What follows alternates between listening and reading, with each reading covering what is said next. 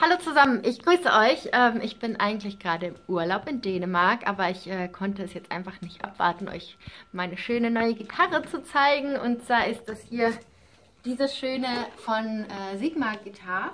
Ich habe tatsächlich mehrere ausprobiert und ähm, die hat einen kleineren Korpus als eine normale Dreadnought, ähm, weshalb auch hier ähm, der Hals einfacher zu spielen ist. Ich kann auf einmal tatsächlich einen G super easy greifen und ähm, sie klingt einfach wunderschön. Also ähm, ich bin total zufrieden, mega happy und ähm, kann gar nicht aufhören zu üben.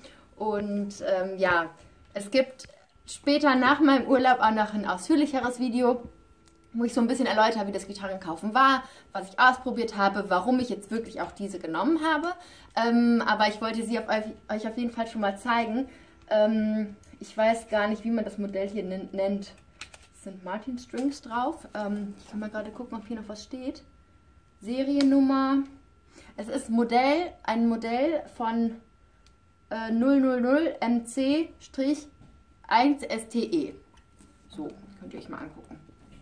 Ansonsten ja, äh, für die Neugierigen, die ist es geworden. Ich bin super glücklich, habe diverse Gitarren probiert und als ich die in der Hand hatte, habe ich direkt gemerkt, die ist es. Ich kann sie sogar an Verstärker anschließen, ähm, was ziemlich cool ist. Das haben wir auch ausprobiert. Und ähm, ja, jetzt bin ich im Urlaub und übe ganz viel.